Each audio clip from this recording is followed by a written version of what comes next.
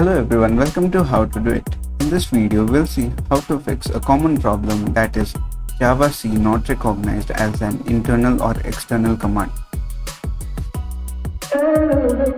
So let's get started. So to fix this, just go to this PC, go to C drive and go to program files and go to Java then open the JDK open the bin folder. Now just click on this location bar and copy all this. Now go to this PC and right click on this PC and go to properties. Now go to advanced system settings. And then here you can see environment variables. Click on that. And here in the system variables you can see a path here. So just click on edit after selecting that and click on new and just paste in the location that we just copied.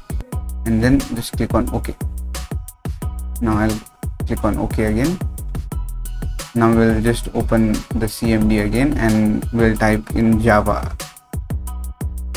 Here we still see this error so we'll just have to close the terminal and open the command prompt again. And now I'll just type in java space dash version. Now here you can see java is working. So this was all on how to fix the issue. Hope you liked the video. Please do like and subscribe. Thank you for watching